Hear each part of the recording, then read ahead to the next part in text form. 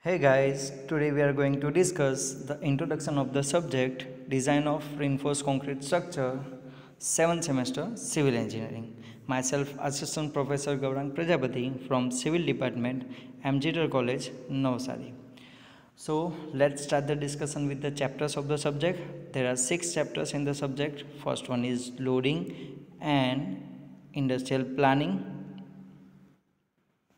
that is this one. Then second that is g plus 3 rc frame building. Third that is water tank. Fourth retaining wall. Fifth flat slab. And sixth one earthquake resistance design of building. Now let's discuss about the each and every subject in detail starting with the first one loading and structural planning. Now in this one first of all we will study types of load to be considered in the design of steel structures. Then second advantage and disadvantage of steel structure effect of wind load on the structure then difference between the limit state and working stress method that is this one.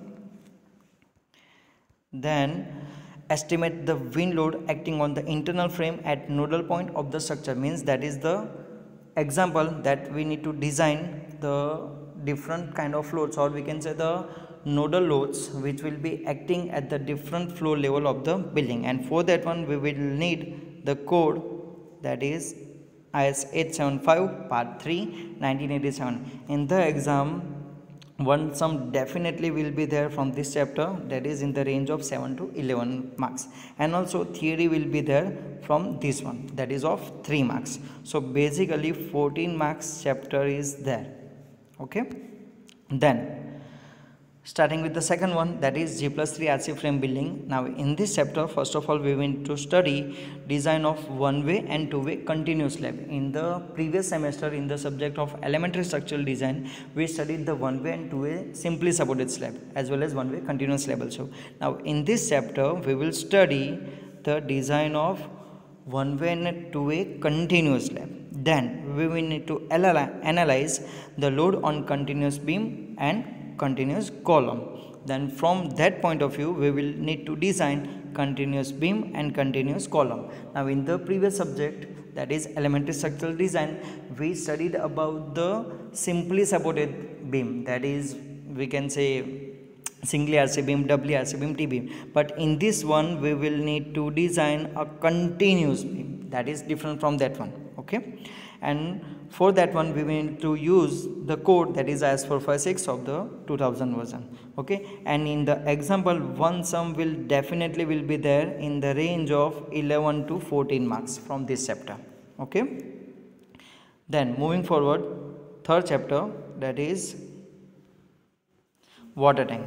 Now in the water tank first of all we need to study the classification of water tank then method of analysis permissible stresses and codal provisions of the water tank.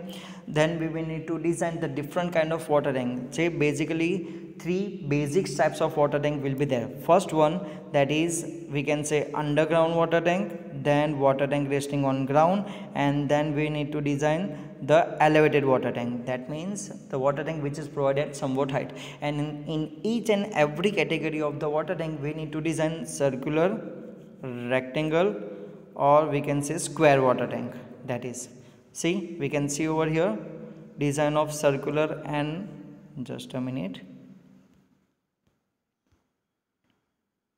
Design of circular and rectangular water tank resting on ground then design of elevated circular and rectangle water tank and over here design of circular and rectangular underground water tank. And from all the water which is mentioned above we need to use the code IS 3370 part 1 part 2 part 3 and part 4 of the 2009 version or you can use the updated version also. In the exam one sum will be definitely there again in the range of 11 to 14 marks. And theoretical criteria will also be there from this one.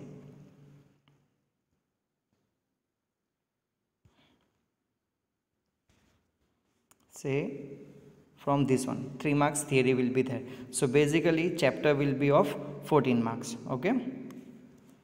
Then moving up further fourth chapter that is retaining wall. Now in this one first of all we need to study the types behavior and application of retaining wall.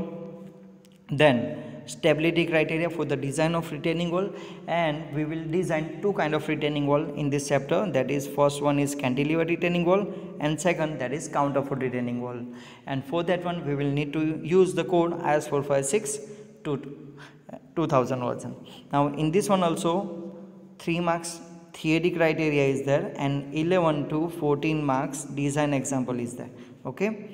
So this chapter is again basically of 14 marks. Okay?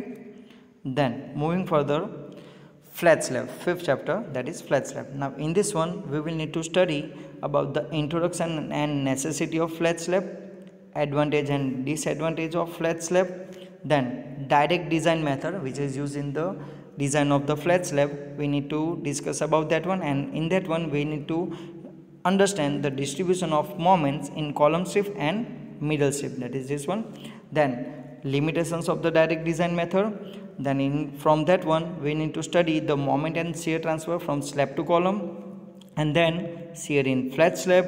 Then at the end we need to provide the checks and those checks are one way and two way checks in the flat slab. And then introduction to equivalent frame method okay? And then we need to design the typical flat slab. And for that one we need to use the code IS 456 2000 version. And again from this uh, chapter in the exam theories will be there of 7 marks and 7 marks example will be there. So basically this chapter is also of 14 marks in the exam okay now moving further last chapter that is earthquake resistance designs of building.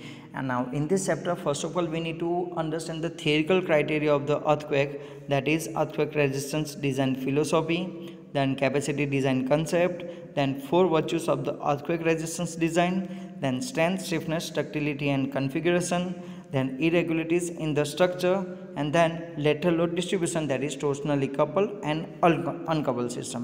This is the theoretical portion of the chapter and from this one two theories will be there in the exam in the range of 7 to 10 marks basically of the 7 marks okay? And then three kind of examples are there. First one that is seismic coefficient method using the code